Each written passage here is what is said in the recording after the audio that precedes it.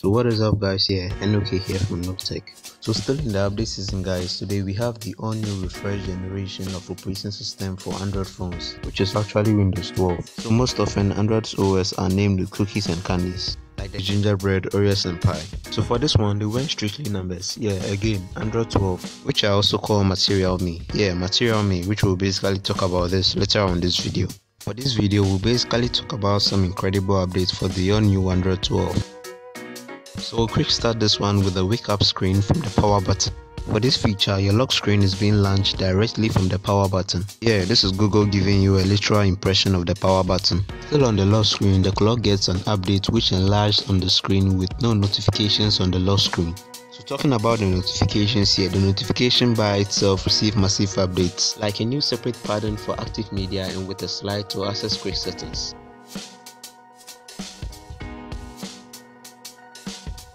Which now contains Google Pay and Home Control toggle at the notification bar. Google Assistant is now activated by a long press of the power button. Not new actually, but this is Google really utilizing the power right in the power button. So now to the material UK study mentioned earlier on.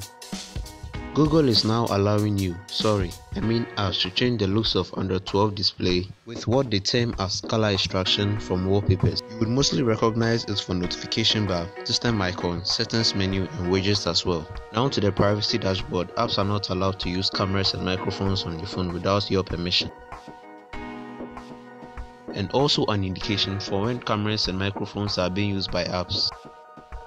In addition, there are toggles to enable and disable access for microphones and cameras. So for privacy's sake, guess Google still cares about you. Yeah, a serious you indeed.